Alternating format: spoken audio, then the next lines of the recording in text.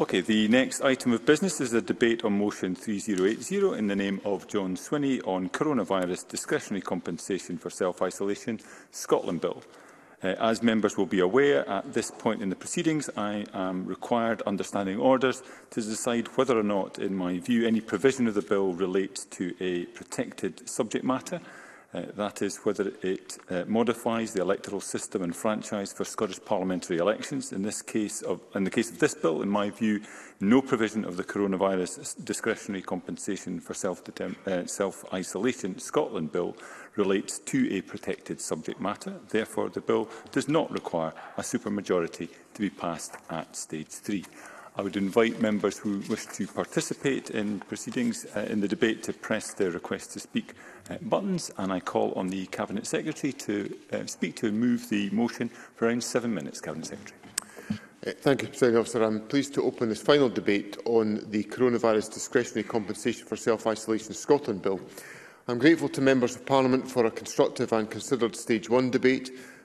The COVID-19 Recovery Committee also heard this bill at Stage 2 at which the Scottish Government lodged three amendments to the bill, which addressed all of the points raised by the committee, uh, along with other members and stakeholders at the Stage 1 proceedings.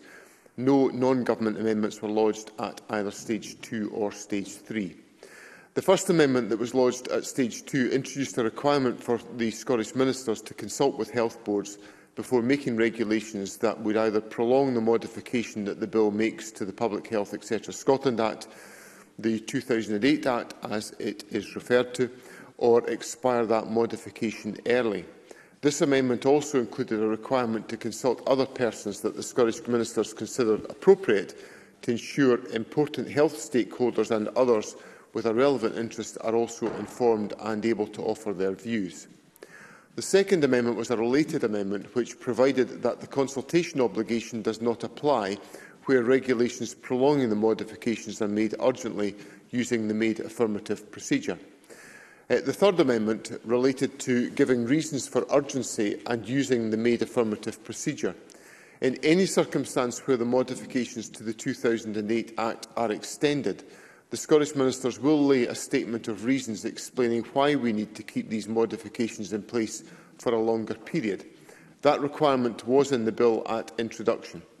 My third amendment at stage two introduced a requirement that should the made affirmative procedure be used, an explanation of why that procedure was used is included in the statement of reasons. And I think that point addresses a number of the uh, points that had been raised at, by various members uh, during stage one with regard to ensuring there is sufficient scrutiny of the regulation-making provisions within the bill. And the government acknowledges the importance of appropriate and detailed scrutiny of all uh, uh, legislative instruments at, uh, uh, involved in handling a pandemic in the nature of the circumstances that we have faced. The amendments also address the suggestion of the Delegated Powers and Law Reform Committee that health boards should be consulted before the provisions in this bill are extended or expired early. The Law Society of Scotland also suggested that an explanation for urgent regulations be provided, which has also been addressed. Presiding officer, at the stage one debate, various members raised concerns about the availability and indeed awareness of self-isolation support. Uh, there has been significant take-up of support for isolation. The Scottish Government has processed 63,527 successful applications, each resulting in a £500 payment through the Self-Isolation Support Grant, according to the most recent data that we have available. Self-isolation support services have used have been used 192,974 times since the start of the pandemic. Now, this support has been promoted to the public in various ways, in televised briefings, in statements to Parliament and also in public campaigns. There is also comprehensive advice on both self-isolation and the support available at the Scottish Government website. And indeed, when, uh, in, in, from personal experience, when um, uh, I've had text messages from the local authority uh, when I've been contacted as uh, a, a contact of somebody who's tested positive. So there is very direct use of technology to ensure that we ensure that individuals are aware of the access and the importance of access to self-isolation support grants. We've also undertaken significant research into compliance with self-isolation guidance uh, to keep the messaging uh, around the availability of self-isolation support under review. Should we need to expand or raise public awareness of this support, then we will not hesitate to do so, recognising the importance that self-isolation support represents in trying to interrupt the circulation of the virus. President Officer, as I set out in, sta in the Stage 1 debate, This bill prolongs the modification to the Public Health etc. Scotland Act 2008 made by the UK Coronavirus Act 2020. The 2008 Act places an obligation on health boards to compensate people who are notified to, to isolate as a result of an infectious disease. This obligation was changed by the UK Act to become a discretionary power. This bill would prolong this change with respect to COVID-19 isolation only, until October 2022. The Scottish Ministers are given a power to extend this change for a longer period by regulations, which re would require an affirmative vote of this Parliament or to expire the provisions early. The Scottish Ministers would have to consult with health boards prior to making regulations to change the expiry date, and if extending the change would be required, they would have to set out their reasons for doing so in a statement laid before Parliament. If there were urgent or emergency circumstances which required the change to be extended, then Scottish ministers could do so by regulations under the made affirmative procedure, setting out the reasons for that urgency to Parliament. President Officer, I would invite members of Parliament to consider what would happen if this bill were not to pass at uh, Parliament today. It may be a short and technical bill, but it is nevertheless one with important consequences.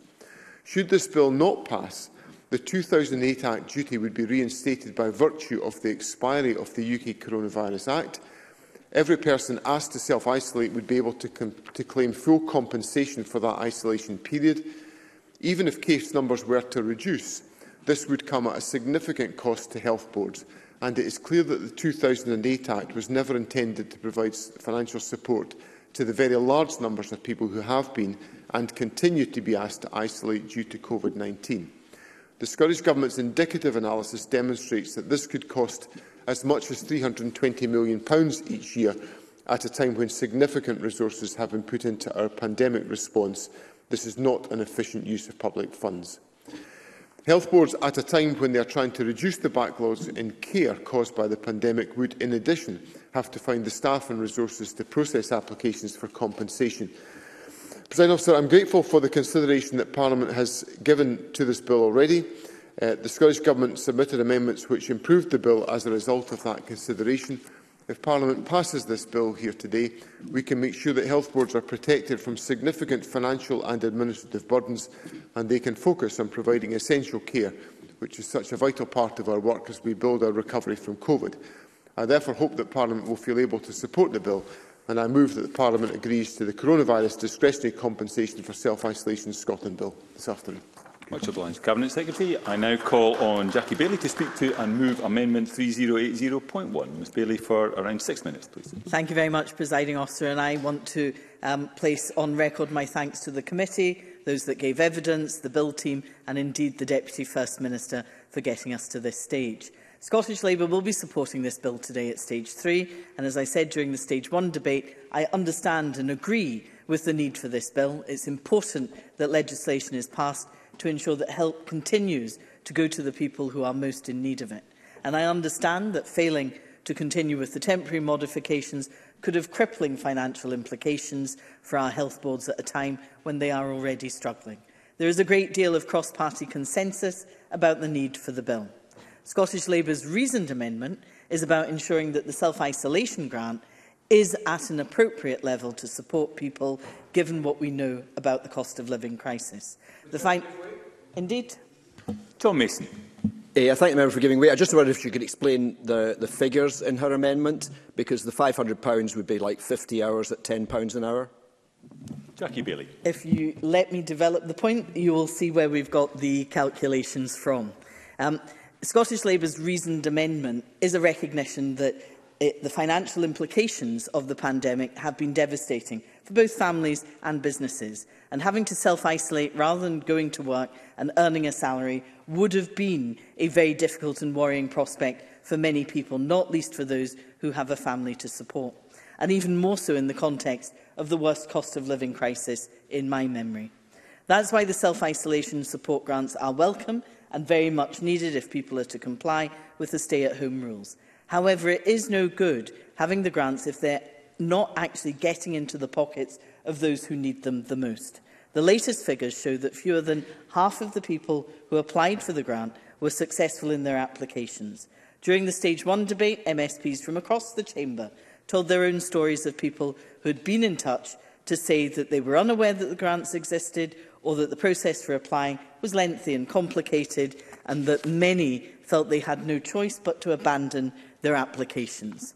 I acknowledge the Deputy First Minister's comments about public awareness, but we should do as much as we can to better advertise the details and eligibility criteria for the grants to ensure that as many people as possible get the help that they need.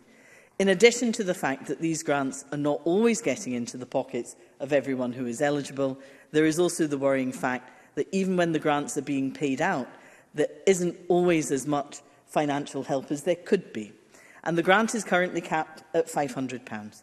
For workers who usually work full-time on the national living wage, they would come out of a 10-day self-isolation period out of pocket. This is despite being successful in their grant application. And Scottish Labour believes that there should be an increase in the amount paid out in the self-isolation grant so that it at least matches the living wage of £9.50 per hour from April. This will ensure that people who are low paid are not left worse off because they followed the rules. And I hope that the Deputy First Minister will accept the amendment and recognise that the request to review the amount is not unreasonable. Only last week in this chamber, we all agreed that we're living in the midst of a cost of living crisis of an unprecedented scale. We know all too well that energy prices are skyrocketing. People will be paying £700 more for their energy, and this at a time where Shell and BP announced eye-watering profits that equate to a profit of £44,710 every single minute. The cost of the weekly food shop is going up. Inflation is rising. Interest rates are going up. National insurance will increase by 10% in April.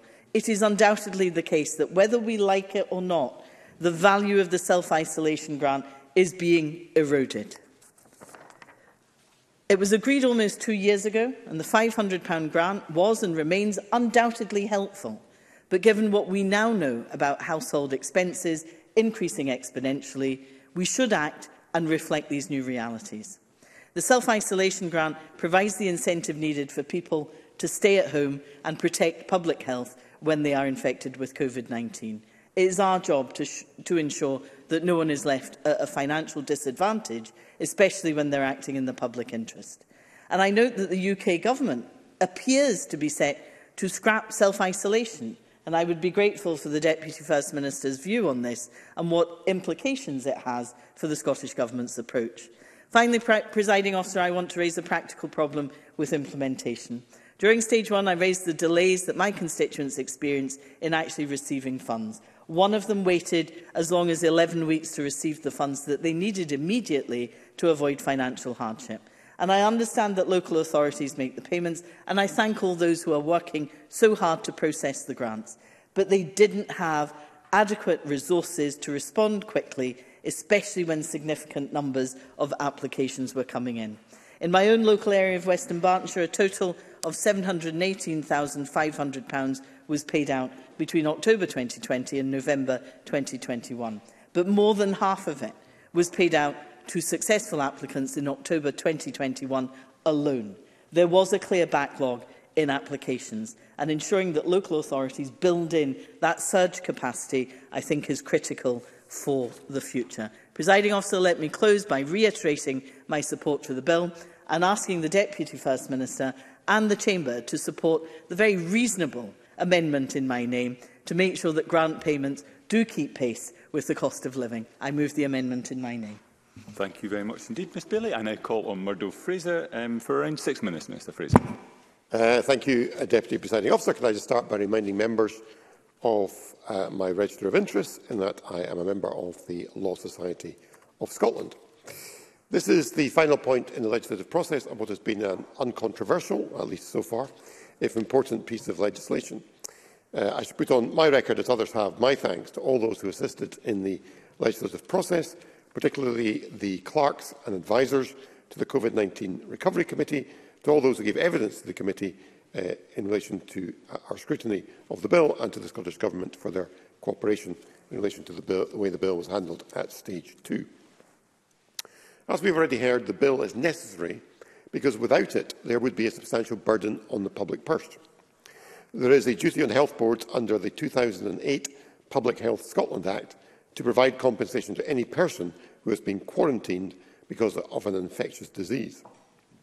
Now, a global pandemic such as COVID-19 was not in anticipation when this law was passed, and given the large numbers who have had to self-isolate following COVID infection, there would have been a substantial financial burden if the measures in the 2008 Act had continued to apply. The bill before us, therefore, is estimated to save £380 million in the financial year 2021 uh, to 2022, and is an important measure, therefore, to protect NHS resources. In this Stage 1 debate a few weeks ago, I outlined some of the evidence that the committee had heard around the question of access to the self-isolation support grant. There were concerns that there wasn't enough publicity around how the grant might be accessed, and there was concern among some applicants that their benefits might be affected if they were to apply for it. Jackie Bailey, in her contribution, made reference to other issues about uh, people uh, facing substantial delays in accessing uh, funds that they would be required. These are ongoing issues, but we would hope that with the incidence of COVID swiftly reducing, and with it the need for self-isolation, there should be less demand for the support grant in future months, and hopefully these issues will no longer be so prevalent. Jackie Bailey uh, introduced uh, a, a reasoned amendment to the uh, motion before us, proposing that the sums paid should match at least the national living wage of £9.50 per hour. Uh, I have some sympathy for the position that she outlined. I think she made a reasonable case. I am concerned, however, at the timing of this particular measure being introduced uh, in the very final debate on this bill. It is an issue that uh, Jackie Bailey could have raised uh, at stage one in the debate, or indeed she could have brought forward an amendment at stage two, uh, and she did not. And I'm curious as to why, I will in a second, I'm curious as to why, and I'm sure she will explain in a moment, why she has left it until the very last moment to raise this important topic. But no doubt she will tell me. Jackie Bailey. Can I thank the member for the intervention? I'm sure he would agree as the scale of the cost of living crisis is laid bare it is absolutely right for us to consider and keep under review the amount that is paid in the self-isolation grant. I think he would recognise himself that Ofgem lifting the cap by £700 is a new and significant thing that we should take into consideration. Murdo Fraser. Well, well I, I hear what Jackie Bailey says. Of course, you could have brought forward an amendment at stage three to seek to uh, implement this change instead of uh, simply bringing a reasoned amendment to the original motion. Uh, I, I listened with great interest as well to uh, her explanation around costings. Mr Mason did intervene earlier to try and seek some clarity on this, and I'm not sure we quite got an answer to that particular point. So perhaps if she's contributing later, she might take us through in some more detail uh, her calculations as to how much this particular proposal might, might... Yes, yes, of course. John Mason. Uh, I thank the member for giving way. I was doing some calculations in a bit of paper myself. If it was, I reckon if it was 10 days, two days for weekends. For people, somebody's working eight days, that's 56 hours. They would get 560 pounds under Jackie Bailey's scheme instead of 500 Murdo Fraser. Well, Mr Mason, of course, is an accountant. I, I bow to his uh, mastery of figures in such a short notice, and I'm sure Miss Bailey will have a chance to respond to that in, in due course. Uh, besides Presiding officer, the, uh, moving on to other matters, the uh, Law Society of Scotland raised one issue in relation to the bill when we took uh, evidence asking that a statement of reasons be provided by the Scottish Government when making regulations under Section 3. Uh, I uh, referred to this in the Stage 1 debate. It was covered in the committee's report. A Point, the point was accepted by the Scottish Government. Uh, an amendment was brought forward by the Cabinet Secretary at Stage 2 uh, to implement this change, and that was a welcome uh, uh, concession by uh, the Scottish Government. Uh, Deputy, sorry, sorry, presiding officer, you've appeared. Uh, presiding officer, um, I ah, was to, about to demote you there, presiding officer. Uh, presiding officer, very little uh, really more to say about this bill. We look forward to becoming law in due course. Uh, I suspect the next piece of COVID-19 legislation coming before us, the Coronavirus Recovery and Reform Bill, may not enjoy such a smooth and uncontroversial parliamentary passage as the one before us, but that is a matter for another day. And in the meantime, we are pleased to support this bill at stage three. Thank you. Thank you. We now move to the open debate and I call John Mason to be followed by Sandesh Gulhani. Uh, thank you very much, uh, Presiding Officer. Uh, I do thank you for the opportunity to speak. Uh, I feel there's going to be a little bit of repetition from the Stage 1 debate, given that very little has changed in the time since then. The Stage 2 amendments were minimal, as laid out by the Deputy Presiding Officer, and were completely accepted by all members of the committee, including myself. But despite the general consensus in the bill and lack of controversy, I would still argue that this is an important bill and not just a technical one, as some have suggested. If we do not pass this bill, the NHS will be facing additional costs of some £360 million, which is quite a substantial amount, and very clearly other services would suffer. The background to the bill was explained at stage one and already, and already again today. It specifically deals with COVID-19 rather than a blanket modification of the 2008 Act, which was the approach of the UK legislation that we are now replacing. Therefore, if someone has to self-isolate because of an infectious disease other than COVID, they would become entitled to the full compensation regime once again. Another issue which I mentioned previously, but which I think is worth repeating, is the difference between how many people said they had followed the self-isolation rules compared to those who actually did self-isolate properly when they were told to do so. In fact, it is reckoned that 94% claimed to have followed the rules, but when this was studied in more detail, it was found that only 74% actually did. In particular, the government's detailed literature review indicated that there were lower rates of compliance amongst men, younger age groups, key workers, people from poorer backgrounds and those with a dependent child in the household. One conclusion was that, quote, rates of compliance were heavily influenced by financial constraints and depend on income support, job protection and support with accommodation. The economic risks of self-isolating are often perceived as more significant than the risk to health, particularly for people from more disadvantaged backgrounds. End of quote. One of the factors in this is almost certainly the availability and level of compensation available for many people in low incomes being off, for, off work for even a few days is a serious step, and clearly some employers are more supportive than others. Some people did not know about the compensation available, as has been highlighted earlier by Jackie Bailey and others, while others thought it would impact on their benefits, and some found it difficult to access and were apparently knocked back without reasons being made clear. So I think going forward, the level of compensation needs to be carefully considered, and the Labour Amendment touches on this, uh, although actually the level of compensation is not part of the bill. Uh, now, as we've been discussing in my interventions, I think £500 is a reasonable level. That would equate to 50 hours at £10 per hour or 35 hours at £14 per hour. Uh, and I understand the Labour amendment would roughly mean, uh, for many people, £560 an hour. And if that's the case, uh, I could certainly live with that amendment. Uh, but clearly, the essential weekly expenditure of different households can vary considerably. For future pandemics, a government might want to look at tailoring support more according to need, but we also know from experience over the last two years that the more targeted support is to be, the longer it takes to design the system and to make the payments. The Law Society had pointed out that there was no definition of emergency and the government should be proactive in setting out why regulations need to be made urgently. So I'm very glad that the government took this point on at stage two and brought forward an appropriate amendment. So overall, I'm happy to support this bill, to fully compensate everyone in the country for all their losses because of self-isolation or for other aspects of this pandemic has not been and is, is, is not affordable or possible. So a more limited and targeted support scheme has been required and this bill seeks to continue that. Thank you. Thank you. I call Sandesh Gulhani to be followed by Paul O'Kane. Thank you and I, I draw members uh, to my register of interest as a practising NHS GP. Uh, the last two years have been incredibly difficult for our country. COVID has been the most challenging test to our public services, our economy and our way of life that many of us have ever experienced. At times, it has been all-consuming, and we have all questioned whether a return to normality in full would ever be possible. However, the situation that we face today is, in all likelihood, the most optimistic since the pandemic began. Over 3.3 million Scots have received their booster jab. And while the dominant Omicron variant is more transmissible, it is proving to be less severe than other strains of the virus.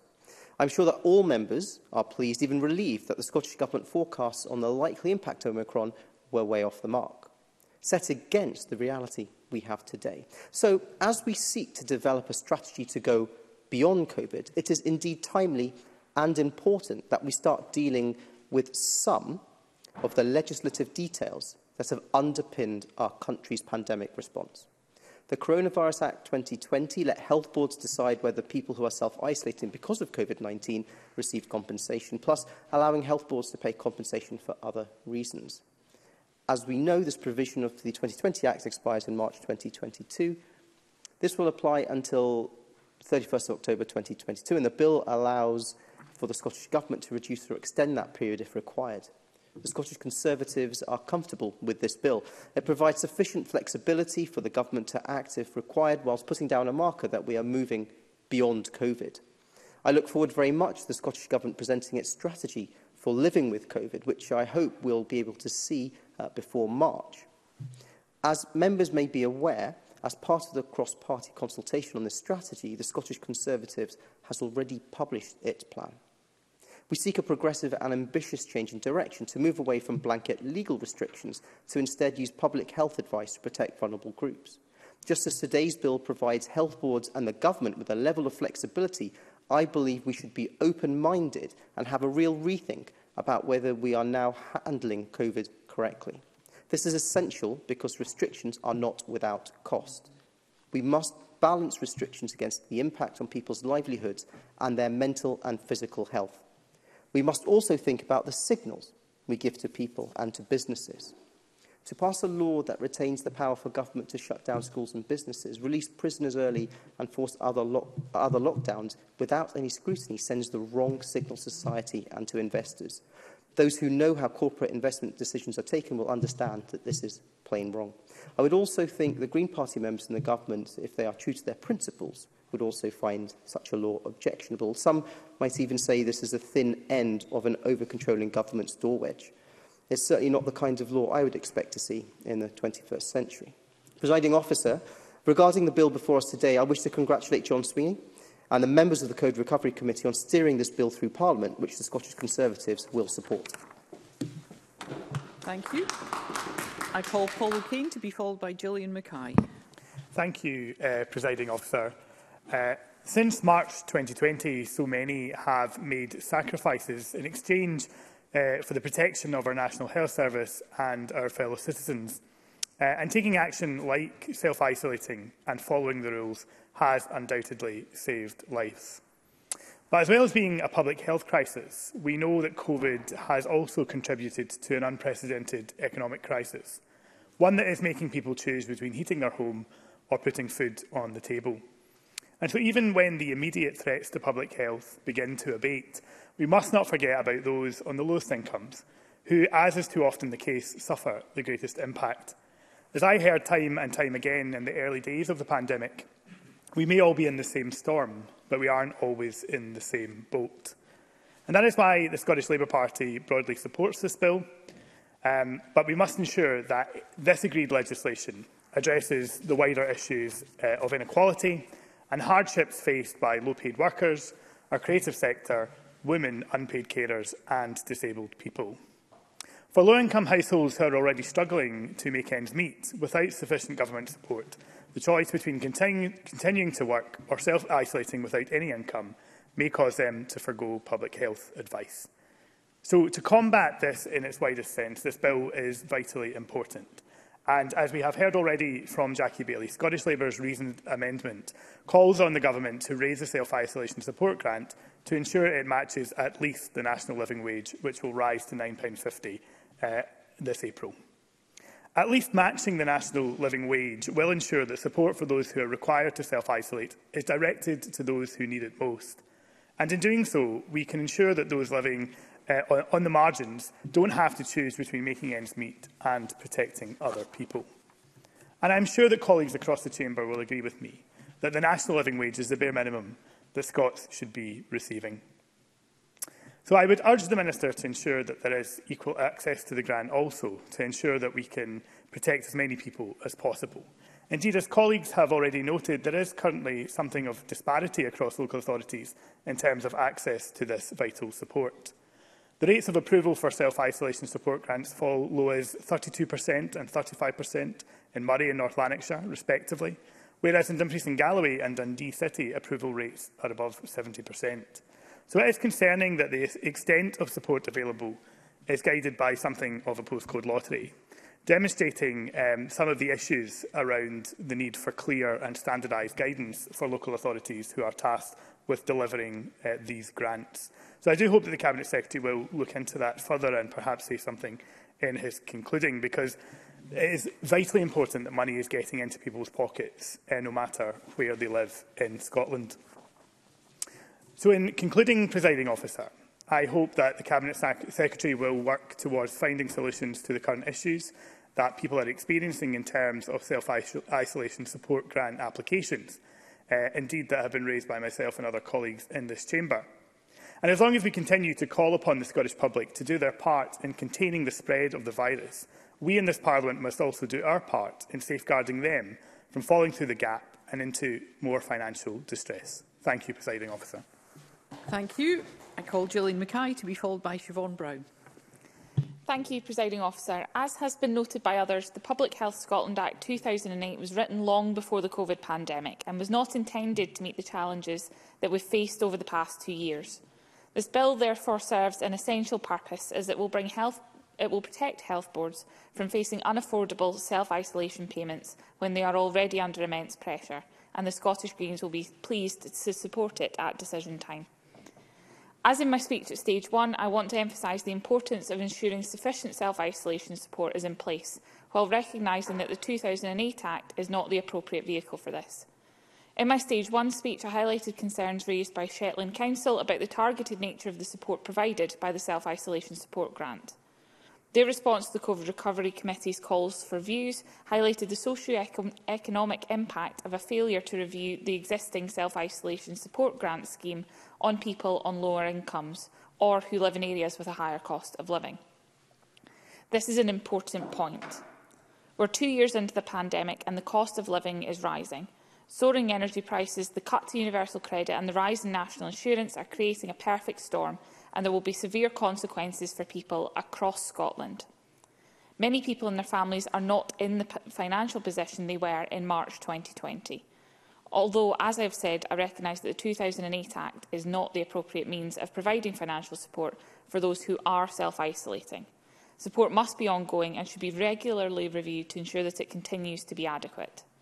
We must recognise that as rising costs hit people's incomes, it will become harder and harder for them to self-isolate without support. The Scottish Greens have consistently called for comprehensive financial and practical support for people who are self-isolating. We are clear that there are financial and practical, practical barriers to self-isolation and that addressing those will help to boost compliance. This will become more pressing as the cost of living crisis continues to unfold. I will. Jackie Bailey. Can I thank Gillian Mackay for taking the intervention? She said it was appropriate, given the cost of living crisis, to regularly review the amount paid. Does that mean she'll be supporting the reasoned amendment at decision time? Gillian Mackay. I did think that would be uh, Jackie Bailey's question, and yes, I will be. Um, alongside ensuring adequate support is available, we must, must also publicise it so people know what they are entitled to. As I highlighted during the Stage 1 debate, the Scottish Women's Convention said in its submission to the committee that, of the women to whom it had spoken, none had successfully accessed the self-isolation support grant or the local self-isolation assistance service. Many women said that they had not heard of the scheme and those who had heard of it did not think that they would be eligible. They also said that the application process could be daunting and confusing. This must be addressed urgently so that people can actually access the support they are entitled to. We know that this bill is a starting point. It aims to address a very specific issue and further pandemic-related legislation is undoubtedly needed. Like many other countries, we were unprepared for a global pandemic. We do not have appropriate legislation in place to help us respond to an unprecedented situation. We must learn from this experience and ensure we are better prepared in future. The Law Society of Scotland have recommended revision of the whole vista of emergency legislation, as well as a law for emergencies which is flexible enough to meet every contingency. This is important work that this Parliament must undertake. As hard as it may be to look to the next pandemic, given that we are still facing daily challenges related to COVID, we must.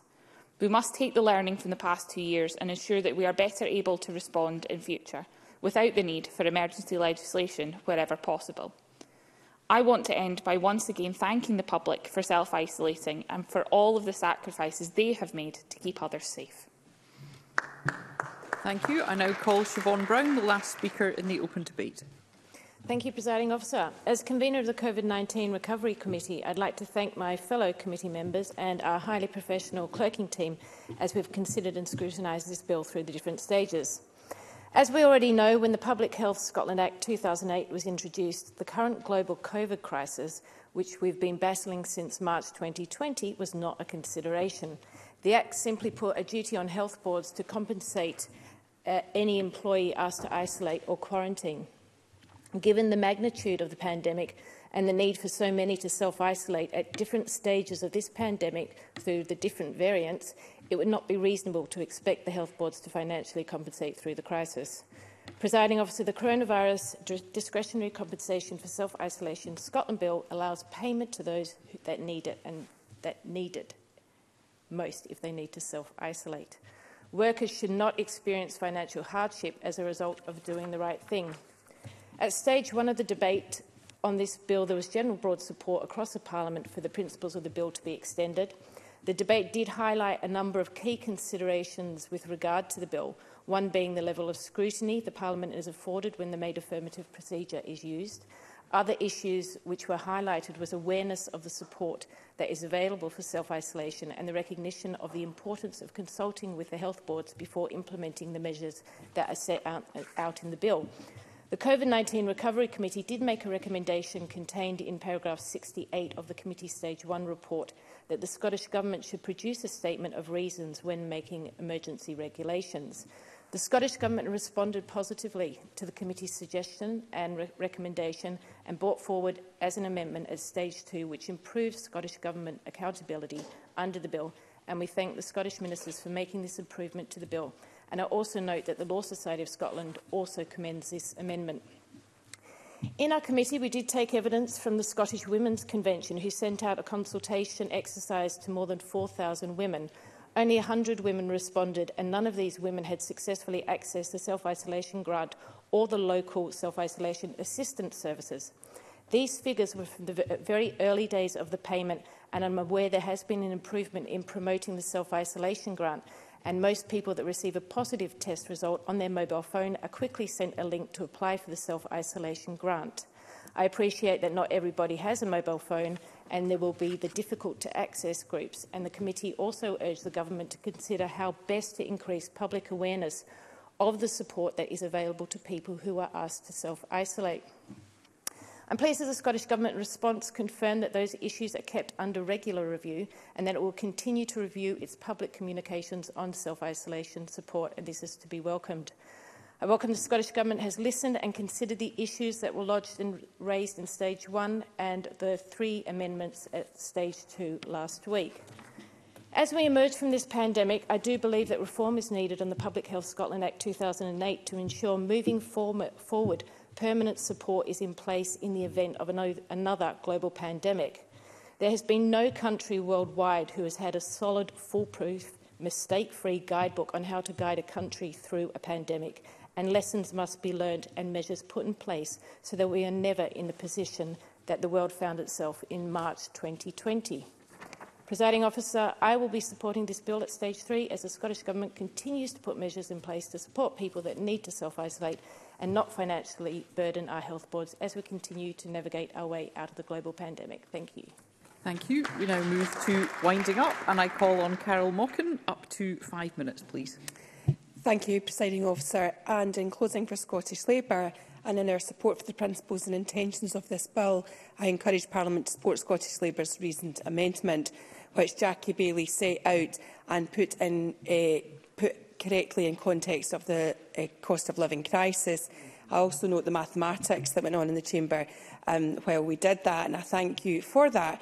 Um, and also the clarity from the Greens in supporting this uh, recent amendment. As we have all said in the Chamber, the COVID-19 pandemic has had implications we could never have imagined 22 months ago when initial restrictions were introduced. As a result, it requires an unprecedented response targeted at those who have been hardest hit and those who are most vulnerable as we continue to move forward from the pandemic. And everybody has recognised that point. We know how important self-isolation has been during this pandemic. It has served to stop the spread of the virus, to protect the most vulnerable, and ultimately it has saved many lives. However, we also know there are significant downsides from a health perspective, such as the impact isolation can have on individuals' mental health and, of course, from an economic viewpoint. For the thousands of Scots for whom working from home is simply not an option, the loss of income that comes with self-isolation can be and has been devastating for many individuals and their families. In cases where isolation have been as long as 10 days, that represented for some 10 days without pay, followed by real worry and concern about whether or not they will be able to put food on the table followed by serious difficulty to pay for bills then after, and this has only increased amidst this cost of living crisis. This pandemic has had impacts that go far beyond public health. It has impacted people's lives, it has left them out of pocket and has brought further uncertainty to those already struggling to get by. So, of course, as we've all spoken about in the Chamber this afternoon, the self-isolation compensation payment is absolutely required to assist these individuals. And it has been um, of value to hear everyone come together on this point. Indeed, if this Parliament backs Scottish Labour's amendment this evening, we can not only agree the bill, uh, but make, make eh, a, a comment to, to, to deliver a, a payment for those who have lost income due to self-isolation, but that payment will match the national living wage and reduces the likelihood of this compensation payment still equating to a loss for those individuals. And it is an important point that we've debated this evening. However, as mentioned by my colleague Jackie Bailey uh, and others during the stage one of the debate and then again, it is crucial that these payments are actually made in a timely fashion and get to people's uh, pockets straight away. It is welcome that the Scottish Government is supporting the extension of provision for COVID-19 self-isolation as we know only too well the crippling financial impacts uh, of not doing so um, for the health boards, we are already under significant pressure due to the demands placed on them by the pandemic. However, as our thanks go to all those who are helping with the processing of the payments, in many pe cases people cannot wait lengthy periods of time to receive the payments. Um, and as been mentioned in the Chamber tonight, this has uh, been mixed. We, we have heard from Paul O'Kane um, about the fact that some local authorities seem to have done better than others in processing these. So it is important that we make sure that we do get these um, payments to people as timelessly as we can. And this brings me to another concern that's been raised at stage one and has come back to the Chamber. It's about public awareness of the compensation fund and its uptake, particularly by low-income families, and was also mentioned by some other groups in uh, the population. It's important that we do get those uh, that information out to people. And I recognise the Deputy First Minister referring to this and the fact that they think that significant uptake has uh, continued and that they will continue to push this and make sure that we get the right promotional material out there for people. We should be making sure that we have targeted um, social media messaging and other uh, ways of, of, of doing that. Uh, only by doing so will we make the choice of self-isolation a more comfortable one for those who may have feared previously that self-isolation would lead to significant financial difficulty. In concluding, presiding officer, I reiterate, reiterate my party's support for this bill and I would encourage members to vote in favour of the recent amendment in the name of Jackie Bailey, which ensures this payment does not fall short for individuals and, and ensures it meets the national living wage, an important factor It's right we, we introduced this separate legislation to help the most impacted during the most unpredictable of times. People should not be punished for following the rules, for keep, keeping themselves and others safe. We will continue to hold the Scottish Government to account in its delivery of this legislation, ensuring it supports those who are suffered financially due to self-isolation, increases increased uptake and offers support to those processing payments. Thank you to all who have spoken tonight. I hope we can pass this legislation. Thank you. Thank you. And I call on Brian Whittle. Uh, thank you, Presiding Officer. I'm happy to close this Stage 3 debate on the Coronavirus Discretionary Compensation for Self-Isolation Scotland Bill on behalf of the Scottish Conservatives. As has been mentioned by other speakers, this legislation, although important, has largely been uncontroversial as it's passed through its various stages. And you were pleased to hear, Presiding Officer, I therefore do not intend to take up much of the Chamber's time. Uh, I would also like to put on record, thank you, thank you an, inter an intervention from the Cabinet, welcome intervention from the Cabinet Secretary. Um, I would also like to put on record at this stage my thanks to all those who have helped with this process, eh, especially the Clarkson advisers and the COVID Recovery Committee, and also those who gave evidence to the committee at stage one. As Murdo Fraser pointed out in opening, without this bill there would have been a significant financial implication to health boards, some estimated at £380 million in the financial year 2021-22 because health boards have that duty under the 2008 Public Health Scotland Act to compensate those who have had to quarantine because of any infectious disease. And, and of course, the law was not set up to deal with the global pandemic such as the one we, are, we have been living with over the last two years, I think, as, as the Cabinet Secretary highlighted in his opening remarks. There was a concern at stage one as to the publicity Uh, of and access to the self-isolation grant, will we heard in committee of instances of those who should be eligible from the grant who actually didn't realise that. And I noted then that the Cabinet Secretary recognised that and suggested that the Scottish Government will look at ways to ensure the grant reached those who it was helped, uh, who it was targeted to help. I also note uh, that the issue raised by the Law Society of Scotland asking for a statement of reasons be provided by the Scottish Government when making regulations under Section 3 was accepted by the Cabinet Secretary at stage two. Presenting officer Jackie Bailey, with her late amendment, has given us something to consider in this bill. Although I have to say I think it's rather unusual for an amendment to be tabled and accepted for consideration at this late stage of the bill, having not even been discussed and scrutinised at stage two. Of course I will. Jackie Bailey. I'm sure the member would entirely recognise that it is in the gift of the presiding officer, and I'm sure he doesn't intend to challenge her ruling. Would you also like to reflect that it would be inappropriate to amend the bill itself? A reasoned amendment provides more flexibility and it's not prescriptive. It asks the Scottish Government to review. So I hope he and his party will not be alone and might just find it in their hearts to pass the reasoned amendment too. Brian Whittle. We are, of course, a very reasoned party, as you're well aware, uh, Jackie Bailey.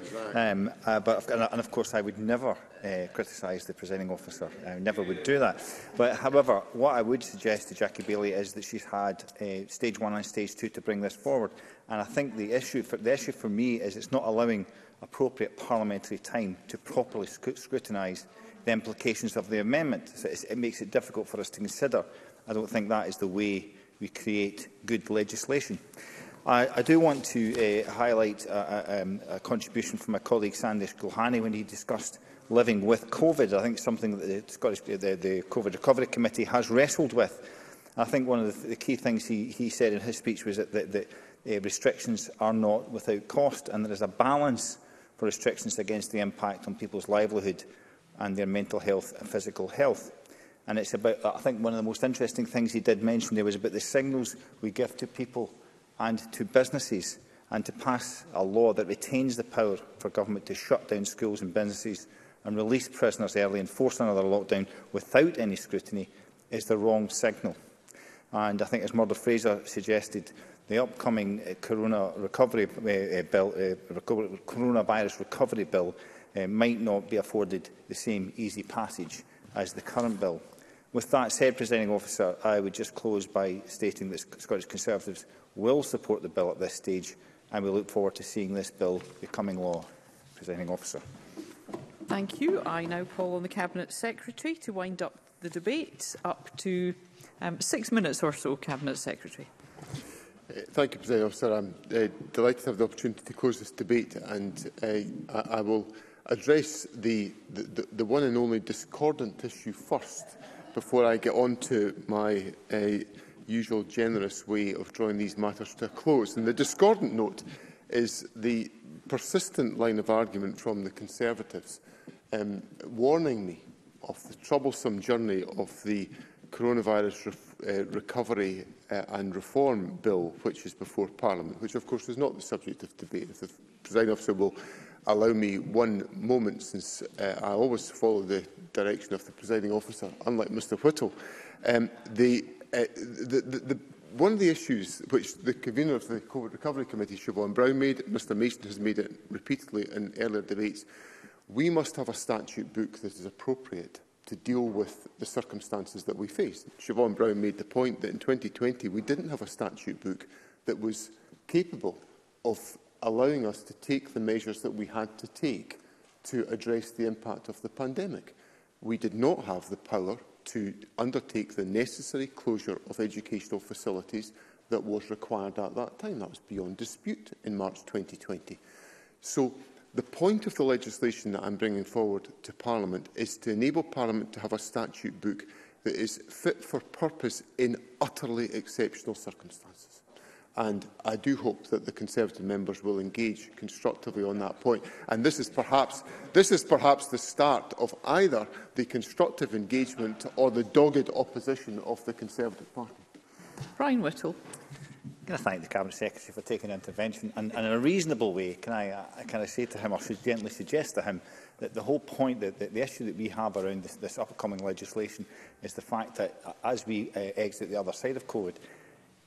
what's going on in the statute books is not reasonable and it's not, it's not out with the government's possibility to bring any emergency legislation back into Parliament if it was needed. We don't need it on the statute books anymore.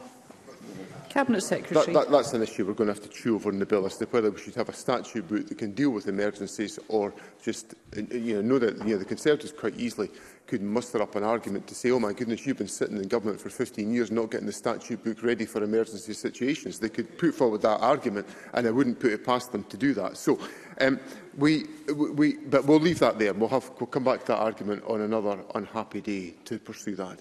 Um, in relation to this uh, bill, I welcome the comments that have been made by colleagues. A number of colleagues have made points about the importance of ensuring the self-isolation grant is available to people who require that. And uh, I have put on the record the steps that we've taken to try to improve awareness. Um, we will continue to do that because it is vital that individuals receive the support which is necessary. Jackie Bailey asked me if the a, about the United Kingdom government's decisions, that, uh, uh, well, not even decisions, statements made by the Prime Minister earlier today about the removal of any requirement for self-isolation. Can I just say to Jackie Bailey, I have no clinical advice that would suggest to me that is a good idea on the timescale that is presented at the present moment. So I suspect I shall leave it to Jackie Bailey to judge whether that announcement at Prime Minister's Questions had anything to do with clinical judgment or more to do with the survivability of the current Prime Minister in office. And I think that's no way to be taking decisions on an important question of that type. To then move on to the, the, the issue of the debate, which has been the reasoned amendment that Jackie Bailey has put forward. I confirm the Government will support the reasoned amendment that Jackie Bailey has put forward.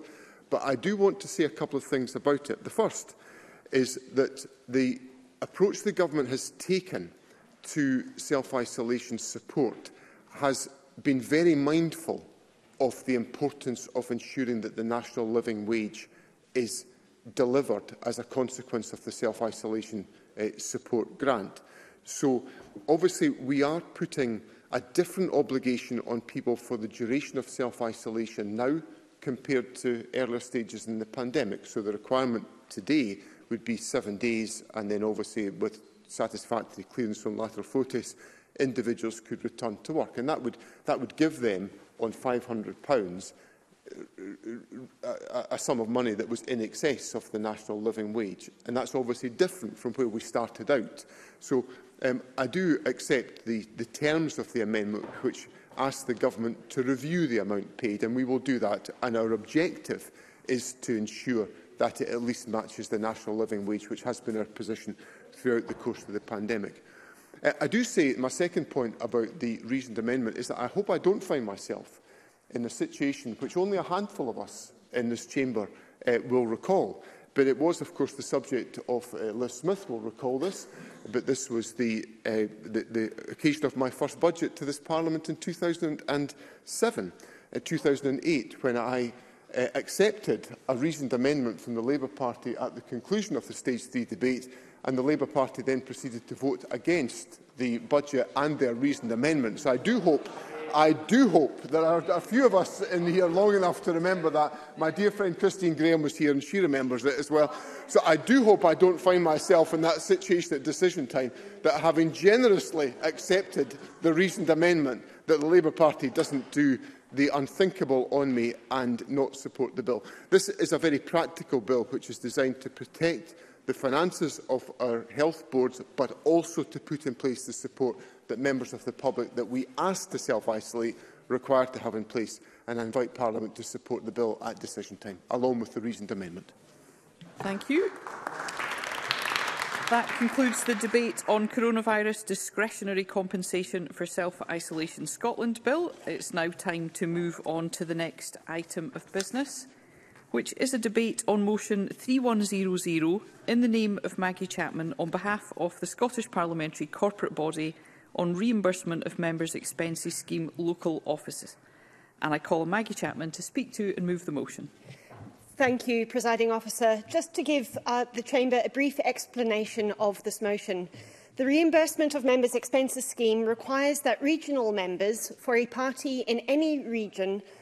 share an office.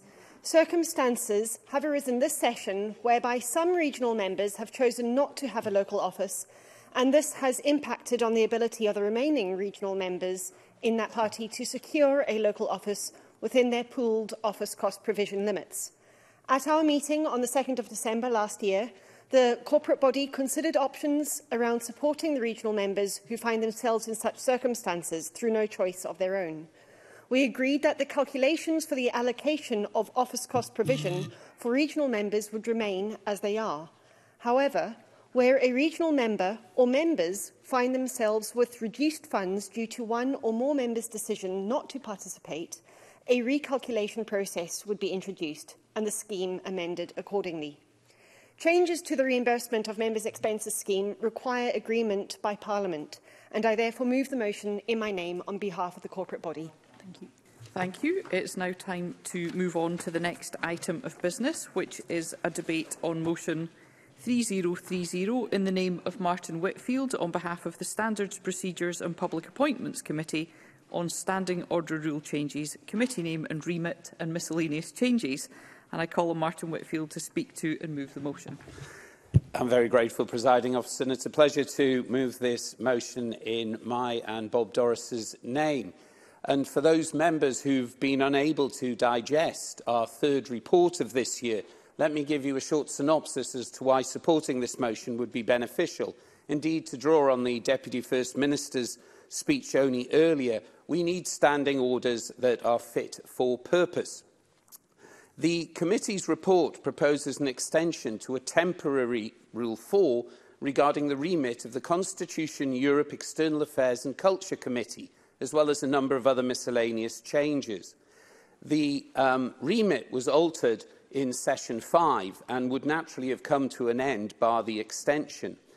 We were approached by the convener of the committee to ask for the extension to be continued throughout this session so that in principle the committee can mirror the um, minister and cabinet secretary that it is their duty and obligation to do so. So the changes that are proposed are a temporary change for the remaining period of this session – so that the Constitution Europe External Affairs and Culture Committee can properly carry out their work and scrutinise the Scottish Government. The other amendments are a mis miscellaneous group of changes just to bring the standing orders back into fit and proper purpose. This has been occasioned by some drafting errors, errors in sections and changes and um, removal of certain statutes. I will continue to entertain you, I hope, throughout this session with various amendments to the standing order.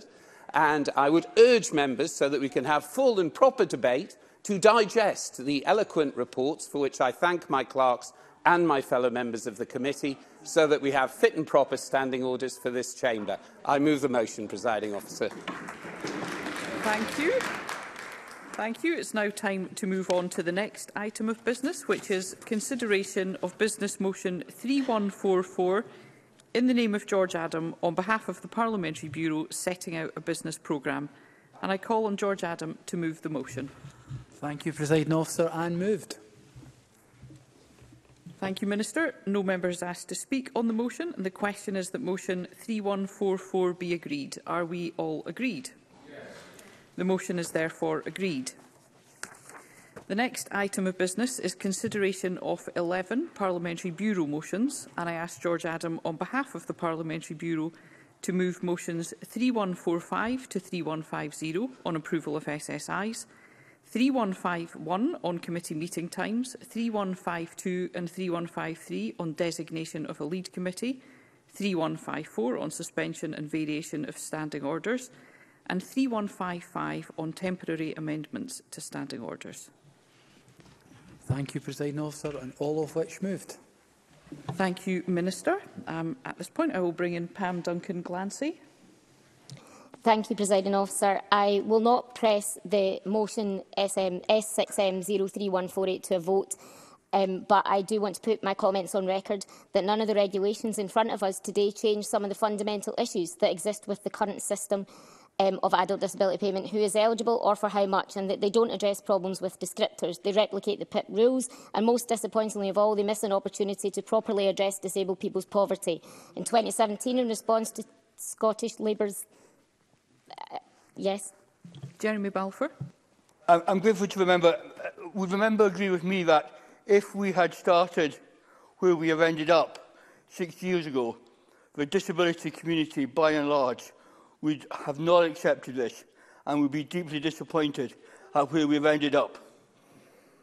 Pam Duncan Glancy. And I thank the member for the intervention um, and I do agree and indeed we heard as much in committee. Um, the PIP rules, the then Cabinet Secretary in 2017 replied um, to a question from Scottish Labour asking whether or not assurances that the system would be ambitious and wouldn't have the same effect as PIP rule. The Cabinet Secretary said the Scottish Government does not intend to replicate the UK Government legislation in our social security. Five years later, we're asked to vote for underwhelming rules and trust that something better is coming. Disabled people have already waited years on a promise that these regulations don't deliver. I will. Eleanor Whittam. And would the member agree with me that at this point in time it's most important that we actually ensure the safe case transfer for all those people who are in receipt just now of disability living allowance and PIP and that the independent review is the right time where we seek to reassess um, after a year's time. Thank you. Pam Duncan Glancy. Thank you. I thank the member for the intervention and I acknowledge that safe and secure transfer is, uh, is, of course crucial for disabled people to receive the money that they want, but they were promised this in 2017. It is now 2022. Considerable time has passed and the cost of living crisis is biting. And so despite our disappointment, Scottish Labour will vote for the regulations today, but I'd like the record to show that we're voting for these regulations because disabled people have waited long enough and so they must proceed because we believe that the current PIP system is so appalling that we will not block an attempt to improve it, and because we will do all we can to make sure the promises this government made to disabled people will not be broken or delayed any longer. Thank you, President Officer. Thank you. And I call Minister Ben McPherson to respond. Thank you, President Officer. And uh, as always, I appreciate the input and contribution of Pam Duncan Glancy and Jeremy Balfe and all members on these regulations on bringing forward uh, adult disability payment. Presiding officer, there are, there are votes in this parliament that uh, really make a difference for a lot of people, both now and in the future. And this is one of them because they will mark a significant milestone in the Scottish Government's delivery of a new social security system and doing so robustly, securely, ambitiously and compassionately. The introduction of adult disability payment will be the 12th benefit to be administered by Social Security Scotland and will be the biggest and most complex undertaking of the organisation to date. And it is in the benefit of all of our constituents for us to support Social Security Scotland in that endeavour uh, and the difference it will make in communities that we represent. These regulations will enable the Scottish Government to take a very different approach to delivering disability assistance developed around our principles of dignity fairness and respect. I certainly will. Jeremy Balfour. I'm grateful to, to the Minister for that. Would the Minister agree that because we have not changed any of the criteria, we've not changed the criteria in this Scottish Parliament, that we may get a no, and it may be a nicer no, but it will still be a no. And that that was not what this Parliament set out to do five years ago. Minister. I think we need to be conscious of the fact that at the moment, presiding officer, we are in a situation where we are in a hybrid social security system and also in a process of two important streams of work. One is introducing new benefits and two is transferring people into Social Security Scotland. And while we're doing that, we need to make sure that we do not create a two-tier system and we treat people with equality. That is part of the fairness principle that the Scottish Parliament voted for in the Scottish uh, Social Security Act Scotland uh, 2018. But we are making some changes to the eligibility criteria and we are changing the way we deliver benefits. So we are putting an end to the anxiety of private sector assessments. There will be no, no undignified physical and mental examinations. We are removing the stressful cycle of unnecessary reassessments uh, and the adversarial approach of the DWP. Presiding officer, in contrast to elsewhere in the UK, we are introducing a system that is rooted in trust and supported by the input of in-house health and social care practitioners. In our system, only one piece of information from a formal source will be sought to support the general care mobility needs in a person's application, and the onus, the onus will be on Social Security Scotland to collect that information. Overall, the experience of applying for and receiving adult disability payment will be fundamentally different than the current DWP system. And we have focused on making changes that will have the greatest positive impact on how people experience accessing support uh, while not risking safe and secure delivery. Presiding officer, I have also announced uh, an independent review of adult disability payment, which will be carried out in two stages. The initial stage will commence later this year, uh, and we will look uh, at the mobility criteria first. Uh, the full adult disability payment framework will be considered during the second stage, uh, beginning in the summer of 2023. Presiding officer, I am confident and determined that from day one, adult disability payment will deliver a new and much improved experience for disabled people and those with long-term health conditions. And I urge Parliament to pass these regulations and together, together, let's keep building a better social security system for the people we represent and the common good of Scotland. I uh, urge Parliament to support these regulations. Thank you. Thank you. The questions on these motions will be put at decision time and I'm minded to accept a motion without notice under Rule 11.2.4 of Standing Orders that decision time be brought forwards to now and I invite the Minister for Parliamentary Business to move the motion. And as always, Presiding Officer, happy to help and move the motion. Thank you. The question is that decision time be brought forward to now. Are we all agreed? Thank you. There are five questions to be put as a result of today's business. The first is that Amendment 3080.1 in the name of Jackie Bailey, which seeks to amend Motion 3080 in the name of John Swinney on Coronavirus Discretionary Compensation for Self-Isolation Scotland Bill be agreed. Are we all agreed? Yes. Can I just confirm, are we all agreed? Yes. We are. Thank you. The amendment is therefore agreed.